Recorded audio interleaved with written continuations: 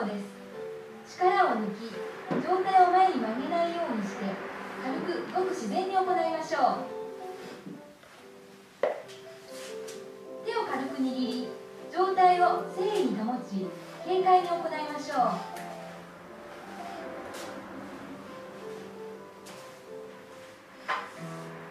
手を軽く握って真横よりもやや上の方に腕を上げて力強く思い切り胸を張るようにしましょう。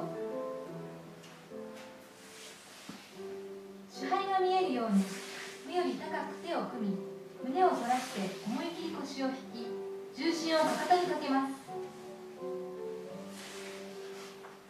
肩を後ろに引いた時に顎を引いて両膝を曲げないこと。力を抜く時は完全に力を抜いて脱力状態となることが大切。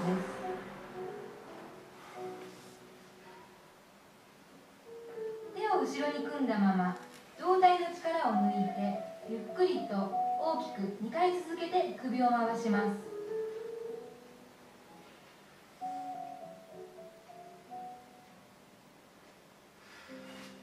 目は前方を見るようにして両手を前に出し静かに両手を開きながら片足を上げていきます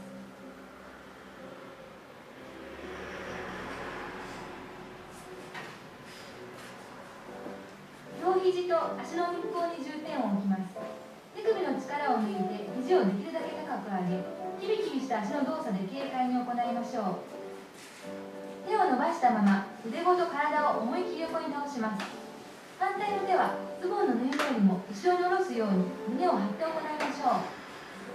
上体の力を抜いて腰から上を十分に反らせましょう。また前に曲げるときにはできるだけ深く曲げることが大切です。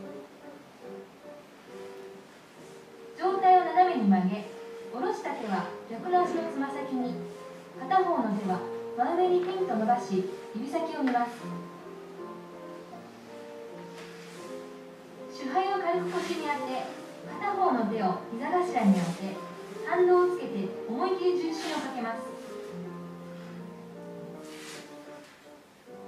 振り上げた腕はまっすぐに伸ばし両腕の感覚は同じにします。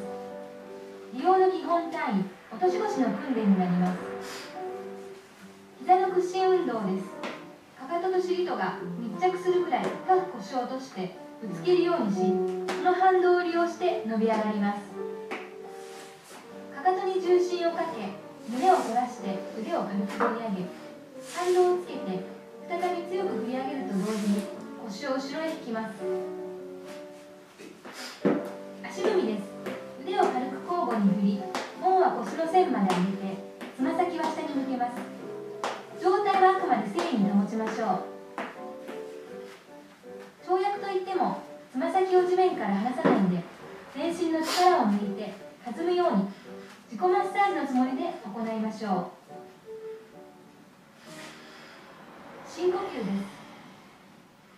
ゆっくりと大きく深く息を吸い吐き出します。